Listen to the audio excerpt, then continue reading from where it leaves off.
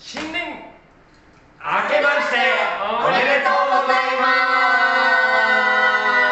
す。はい。そんなわけでねはいお茶そうです。池田亮です。岡内美希子です。小林ありおです。はい。で皆さんねどうでしょう？新年明けましたけれども。どうですか？お餅食べてますおか餅は食べてますね多分ね。あとおせち最近さうんうん。なんか食べなくなってきてない？あんまりなんか好きなのだけなんかあれどこだっけ？セブンイレブンだっけ？ローソンだっけ？なんかあの一口おせちみたいなやつはやってるよね。えあのー、一品をえー、すごっ。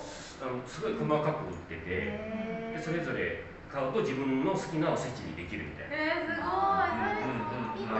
それいいですねそう選びたいところだ。そうそう。まあおせちがなんか1000円ぐらい上がったっていう話聞きましたよ。なんやねんこの動画は短くするって言ったら意外そうおせちだ知ってるから長いよね。途中から。それがおかしくなっちゃってすそういですよねすいませんすいません手を洗いましませんたはいはい満喫してますか？はい。してますかはいそんなわけでねうん。いよいよ1月の26か29今月の末ですね。